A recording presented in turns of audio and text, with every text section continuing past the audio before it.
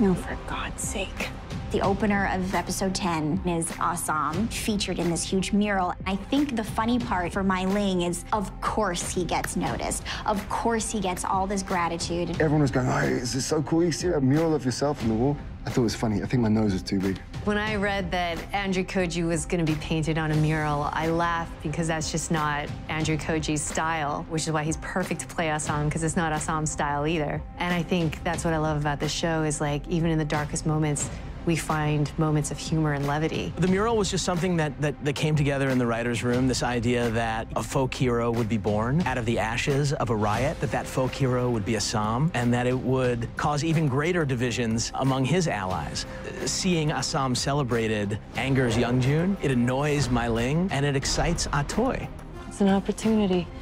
You're a symbol to your people. Atoy was always one of the people who saw the true promise that Assam had. And the fact that the people of Chinatown celebrated him proves Atoy right. What the fuck is this? I can't do it anymore. I think the thing that really pushes Lee over the edge is the complete loss of control during the riot. We're not meant to succeed, Bill.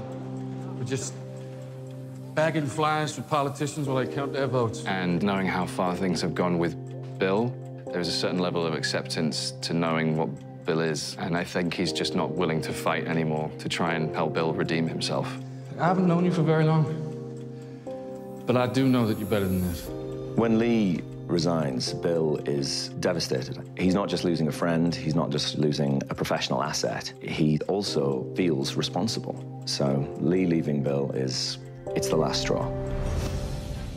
We can't afford to be fighting amongst each other. You mean you can't afford it?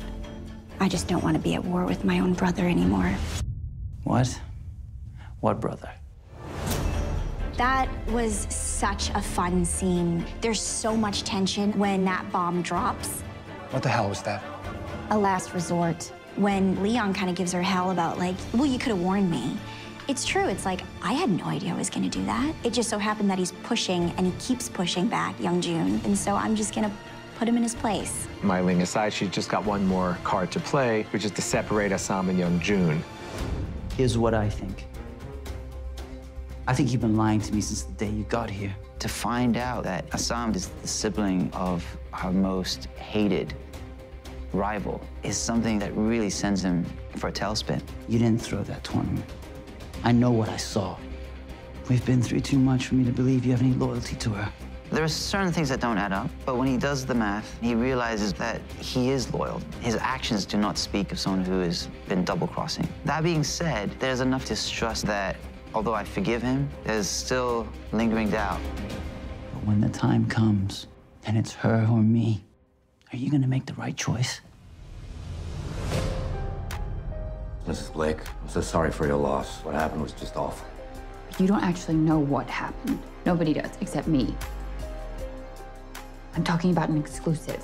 When Penny went and sold the story, she thinks she's cleared Jacob's name. When she finds out that the reporter had been bought, she's so pissed off. You bastard! So you're buying reporters now? The final straw is when she touches him in such a violent way. He calculates what he needs to do, and he does it. When Buckley picks up that letter opener, everyone should be sure he's going to attack Penny, but he wants her out of the way, and he, he finds a way to punish her for going up against him. So I read that, and I was like, what? Like, are you, what? Help! She stabbed me! Come along with us. She stabbed me! He stabbed himself! In that era, a man with one word could have a woman committed. This means so much to her that she can come across like she's losing it so that when she's committed, everyone's like, oh, yeah, that makes sense. And now the question is, is she going to be able to sort of emerge from this more powerful, or is she going to emerge from this deranged? What happens now? I'm thinking I'm going to kick your Irish ass in front of all your buddies here. We knew the season was going to end with Assam and Leary fighting each other. There's really a lot of understanding between them, and they're kind of fighting the same fight, and that's why it became really fascinating to actually pit them against each other. So it was a hard shoot.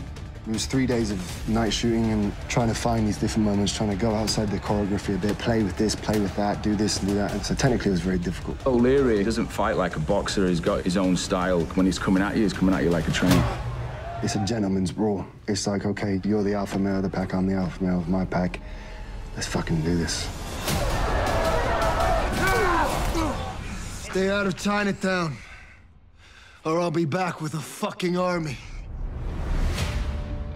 I love shooting it this season. Everything really seemed to come together. It's pretty amazing the way we've expanded the show. I think it opens up a whole other era of Chinese American history. This is what I love about the show. They have really smashed these characters together in this world. From the very beginning, I was immediately pulled into it. Everyone's stories descend further into the difficulty of living in Chinatown at the time.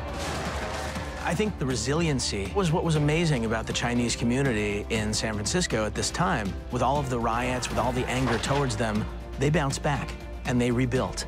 Feels authentic to our time and the issues that we're still wrestling with.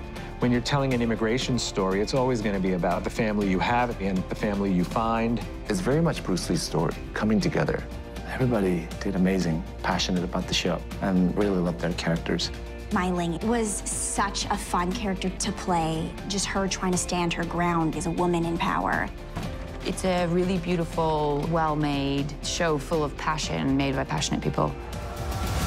It's exciting, different, and I think the way we wrote it and the way it was shot came out really beautifully. I'm not going to say I was blown away by it. To see it all together like that, phenomenal. I felt like this season paid tribute to the legend that Bruce Lee became in the way which feels organic to the story. It was amazing.